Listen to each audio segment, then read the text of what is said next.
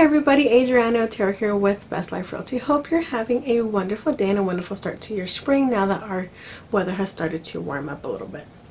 Now let's get into this month's market update reflecting on sales activity and market trends that we had in Morgan County, Colorado during the month of May. So for starters, our number of homes for sale didn't really vary very much from last month. Um, now that's not necessarily a bad thing, it's a good thing I think because it means that a lot of people have not taken their home off the market and we are still seeing a steady stream of good sales activity in our Morgan County market. Another good sign that our market is still holding strong is our number of new listings is actually barely keeping up with the number of homes under contract every month. So that definitely shows that there's still a demand and a need for more inventory. So if you're thinking about selling your house, there definitely is still a good time to do that now if of course you feel comfortable letting people in and out of your home. The couple of things that didn't really have much of a change were our number of closed sales, our percentage of list price, and our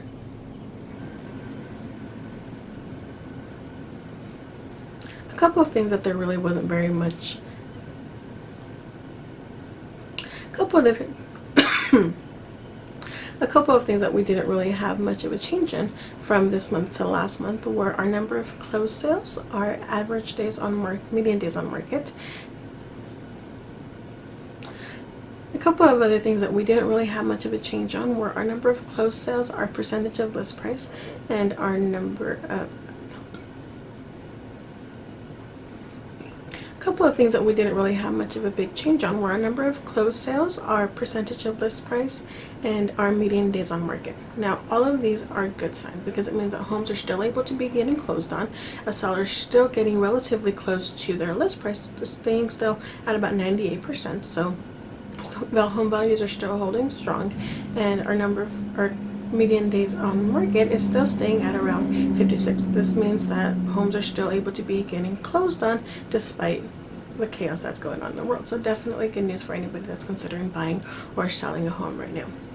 We did have one big jump and that was in our price per square foot. Um, the last two months we were kind of staying at about 120 121 dollars a square foot where May we actually jumped up quite a bit to about 143 dollars a square foot.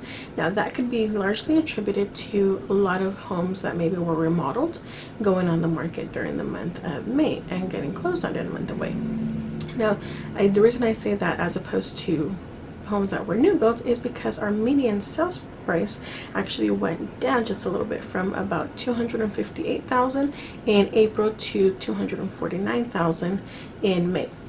What that tells us is that homes are still selling, but they're selling for a higher price per square foot value than they are a higher sales price, which usually indicates homes that are maybe smaller in size but are remodeled, which would warrant a higher price per square foot. But if you have any questions on the statistics, you may take a closer look at them on my website at www.bestlifere.com. If you are interested in buying or selling your home, I'd be happy to help. Please reach out to me anytime at 970-370-0135. Thanks for watching guys and have a wonderful day.